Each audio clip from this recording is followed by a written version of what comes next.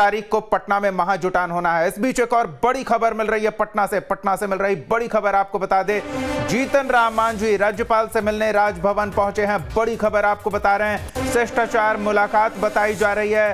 पूर्व मुख्यमंत्री हिंदुस्तानी आवाम मोर्चा प्रमुख जीतन राम मांझी की राज्यपाल से बड़ी खबर आपको बता रहे हैं। राज्यपाल से मिलने पहुँचे हैं पूर्व मुख्यमंत्री जीतन राम मांझी हिंदुस्तानी आवाम मोर्चा प्रमुख राज्यपाल से मिलने पहुँचे हैं। शिष्टाचार मुलाकात बताई जा रही है जीतन राम मांझी की ये। बड़ी खबर आपको बता रहे हैं, जीतन राम मांझी ने राज्यपाल से मुलाकात की है। राजभवन पहुंचकर पूर्व मुख्यमंत्री जीतन राम मांझी ने राज्यपाल से मुलाकात की। बातचीत हुई, शिष्टाचार मुलाकात बताया जा रहा है। दोनों के बीच इस भेंट को। बड़ी खबर आपको बता रहे हैं, पूर्व मुख्यमंत्री, हिंदुस्तानी आवाम मोर्चा प्रमुख जीतन राम मांझी राज्यपाल से मिलने पहुँचे। बड़ी खबर इस समय की। हालाँकि इस मुलाकात को शिष्टाचार मुलाकात बताया जा रहा है। पूर्व मुख्यमंत्री, हिंदुस्तानी आवाम मोर्चा प्रमुख जीतन राम मांझी राज्यपाल से मिलने पहुँचे हैं।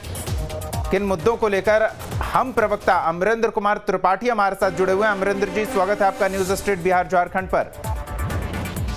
जी बहुत बहुत धन्यवाद। अमरेंद्र जी जीतन राम मांझी की राज्यपाल से मुलाकात की जानकारी आ रही है। कुछ बताएँगे इस मुलाकात को लेकर?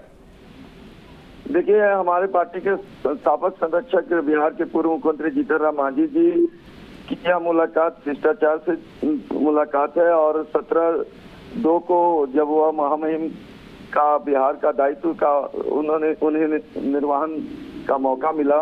और जब से वह बिहार के महामहिम राज्यपाल के पद पर आए और तब से अब तक के लिए मांझी जी का उनसे कोई किसी प्रकार की मुलाकात नहीं हुई यह संयोग रहा।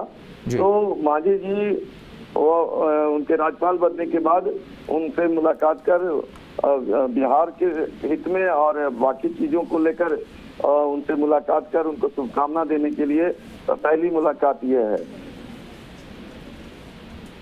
चलिए, अमरेंद्र जी बहुत बहुत धन्यवाद अपना समय देने के लिए इस विषय पर जानकारी साझा करने के लिए। तो राज्यपाल के बिहार आगमन के बाद से पूर्व मुख्यमंत्री, हिंदुस्तानी आवाम मोर्चा प्रमुख जीतन राम मांझी को मुलाकात का अवसर नहीं मिला था और ऐसे में शिष्टाचार मुलाकात के लिए पहुँचे थे जीतन राम मांझी।